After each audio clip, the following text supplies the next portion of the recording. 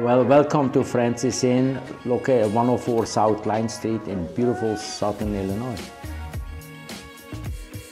Francie's Inn was built as an orphanage originally in 1896. Started operating in 1904 till 1945.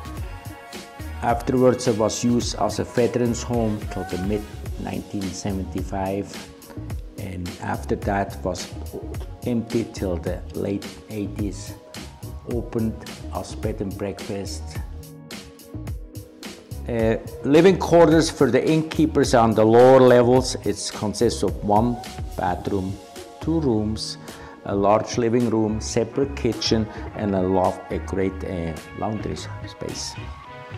Uh, upstairs we have the main floor with uh, one bedroom, one bath, and the upstairs level has four bedroom. What I like about that place and I love it's the passion and you meet great people from all around the world, make a difference in their lives and you reward yourself for a to live in a wonderful place.